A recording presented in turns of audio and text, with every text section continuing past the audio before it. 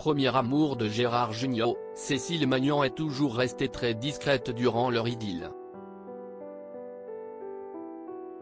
Mère de leur fils Arthur né en 1980, elle est apparue sur un rare cliché pris dans cadre très triste pour l'ex-couple qui avait passé de nombreuses années ensemble dans les années 1980, le jour des obsèques de Véronique Colaucci au cimetière communal de Montrouge, le 12 avril 2018. Jolie brune très élégante travaillant dans le cinéma et le théâtre en tant que costumière, Cécile Magnan avait rencontré Gérard Junior car elle s'occupait de ses tenues sur les tournages de films.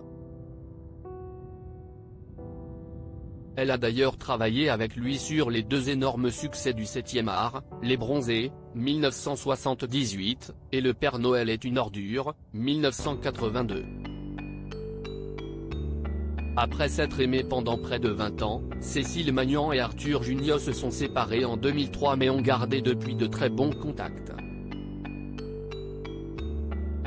Pour preuve, ils ont collaboré de nouveau ensemble en 2005 lors du tournage du film Les Bronzés 3 et s'entendent à merveille dans l'éducation de leur fils Arthur. Interviewé par Téléstar en 2017, Gérard Junior dévoilait un peu plus ses liens avec son fils. S'il admettait ne pas avoir été très présent durant son enfance, il se félicitait du lien très fort qui les unissait à présent. Quand Arthur était petit, c'était compliqué, voire conflictuel. Sans doute parce que je me suis séparé de sa mère, la costumière Cécile Magnan, note de la rédaction. Et puis j'étais très auto-centré sur mon métier. Aujourd'hui, on a une complicité très forte que je n'aille d'ailleurs jamais eue avec mon propre père. Expliquait l'acteur. Suite à sa rupture avec Cécile Magnan, Gérard Jugnot a été en couple pendant plus de dix ans avec la comédienne Saïda Jawad, rencontrée en 2003.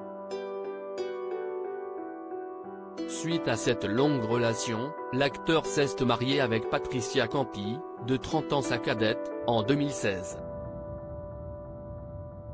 Les amoureux ont fait connaissance sur le tournage du film Entre amis en 2014 et ont officialisé leur relation deux ans plus tard, quelques semaines avant leur mariage dans le Var.